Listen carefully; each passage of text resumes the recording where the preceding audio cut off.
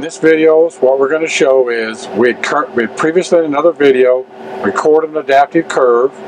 We've come back into this field and we have our old lines in there and we need to remove them. We may not want to follow that particular path. So to do that, we'll go to the menu, we'll go to the GS3,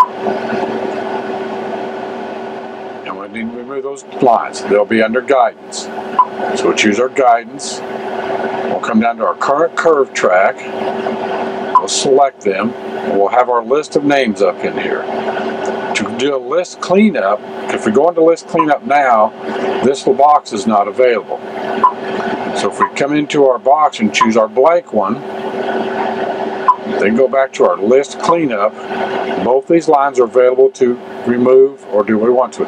So for this particular test, we're going to actually remove both lines. Delete selected data. We'll choose that.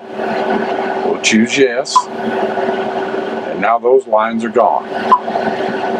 So we come back to our home line and all of our lines are gone. That's how you remove existing curve track lines.